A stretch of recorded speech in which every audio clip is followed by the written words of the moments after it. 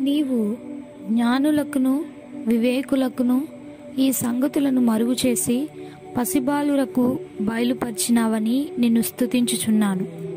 మత్తయి పదకొండవ అధ్యాయం ఇరవై ఐదవ వచనం. దేవుని నడిపింపును స్పష్టముగా పొందిన అన్నామని యొక్క అనుభవంను నేనెన్నడూ మరువలేను. మాతో కలిసి జీవించుటకు ఆమెను మా తల్లిదండ్రులు ఆహ్వానించిరి. ఆమె సామాను తెచ్చుకొనుటకు ఆమెతో పాటు నన్ను కూడా పంపిరి. నేను ఆ ఊరికి పూర్తిగా అపరిచితురాలను. అందువలన ఆ ప్రాంతమంతా కొత్తగా ఉండినది. అన్నామని వ్యక్తుల పేర్లు కానీ వీధుల పేర్లు కానీ ఇంటి నెంబర్లు కానీ చెప్పలేకపోయేది. కొన్నిసార్లు ఒక వ్యక్తి పేరు వీధి పేరు మాత్రమే జ్ఞాపకం చేసుకొనగలిగినది. అన్నామని తన వస్తువులను వస్త్రములను పెట్టిన స్థలములకు మేము ఒక ఉదయకాలమున బయలుదేరితిమి. ఆమె సంచిని నేను పట్టుకున్నాను. ఎక్కడికి వెళ్ళుచున్నామో ఆమె చెప్పలేదు. మేము వీధిలో నడుచుండగా అకస్మాత్తుగా మేము ఏ దారి పోవాలని ఆమె తండ్రిని అడుగును.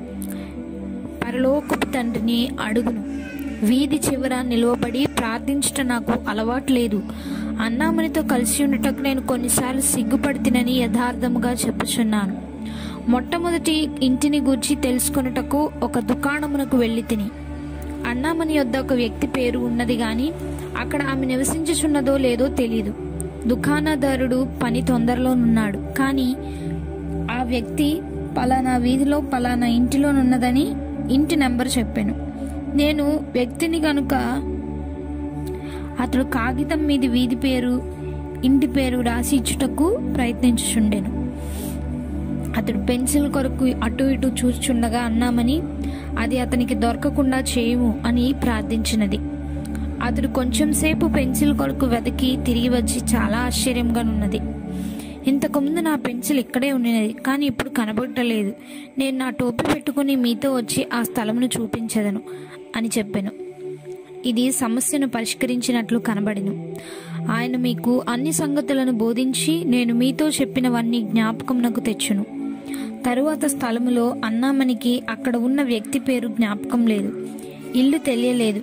మేము నడుచుచుండగా ఆమె ఇది ఆ ఇల్లు లాగే కనబడుచున్నది అని చెప్పుచు ముందుకు సాగుచుండేది చివరకు ఒక చోట ఆగి ఆ ఇల్లు ఇదేనని నా తండ్రి చెప్పుచున్నాడు అని చెప్పినది. నేను నీవు పైకి వెళ్ళి చూడు. నేను నీతో వచ్చటలేదు అని చెప్పిదని ఇంటి తలుపు కొట్టి వారి పేరు తెలియకుండా మాట్లాడటం నాకు హాస్యాస్పదంగా అనిపించింది.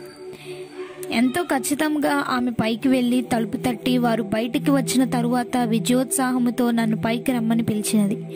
ఇటువంటి అనుభవములు అనేకసార్లు కలిగినవి. ఇది నన్ను అవమానమునకు గురియగునట్లు చేసెను. ఆ రాత్రి నన్ను రక్షణ సైన్యపు వారి కూటమునకు కా రావాలని కోరినది.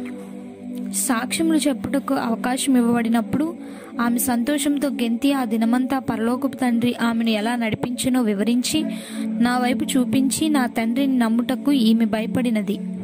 సరి అయిన ఇంటికి ప్రభు నన్ను నడిపించునని ఆమె నమ్మలేదు అని చెప్పి ఇప్పుడు నీవు లేచి సాక్ష్యం చెప్పుమనెను. నా తలంపులను బట్టి ఆ దినము జయకరంగా జరగలేదు కానీ ఇంతకు మునుపు ఎవరిలోనూ కనబడి దేవుని కృప ఆమె కలిగి ఉన్నది. అంతేకాదు దేవునితో సన్నిహిత సంబంధము మరియు నడిపింపు కలిగి ఉన్నదని నేను ఖచ్చితంగా తెలుసుకుంటుని.